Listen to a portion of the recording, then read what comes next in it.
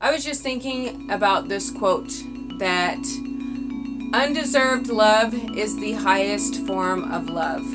So, usually when we think of when we love someone, we just think of all these like warm, fuzzy things, everything great and wonderful. But usually, love is drenched in sweat and dirty, okay? When you really love someone, or when you really have shown love.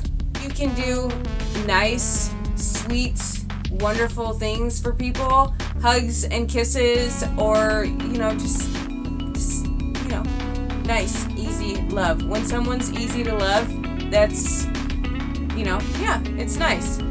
But if that love has not been tested and tried then do you know the foundation that it stands on?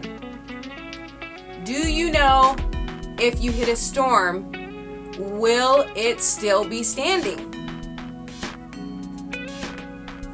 So, especially when someone has done something that they just are totally, completely in the wrong, and they have just done you wrong, it is so easy for someone to say, oh, that's no good, like that person's totally done you wrong, you need to just ditch that person, or maybe it's your sibling, or just whatever, you know, whatever relationship do you have, a friend, friendship.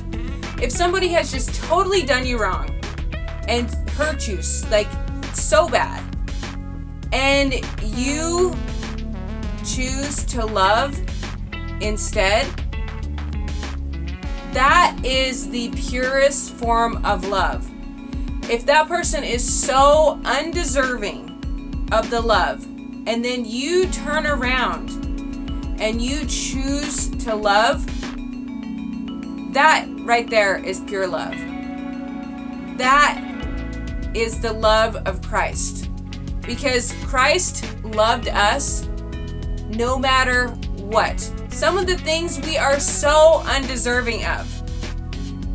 And He still gave it to us. It is pure, unconditional love.